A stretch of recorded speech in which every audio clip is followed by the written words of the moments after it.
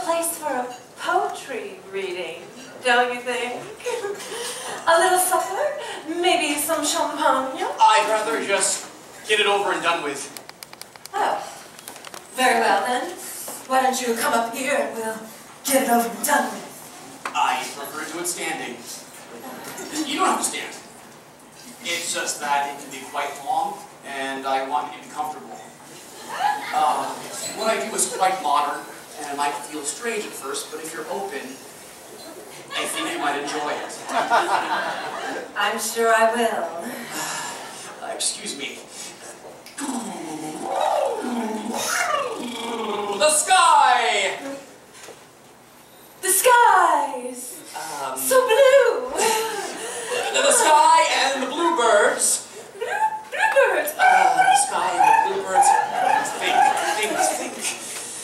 Is everything all right? Uh, yes, sorry, I'm just a little nervous. Sometimes it takes a while for inspiration to come. Oh, yes, yes, yes, yes. Let mummy help. Does that inspire you? Uh, come, feel it. Uh, Free the tiger. It's Let's make it young.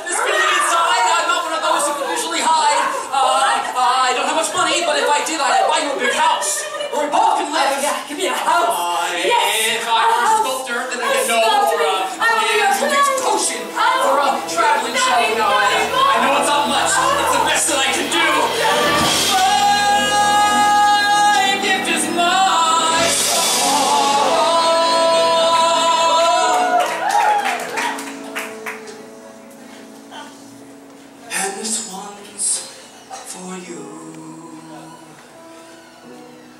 And you can tell everybody this is your song. And maybe quite simple, but now that it's done, hope you don't mind. Hope you don't mind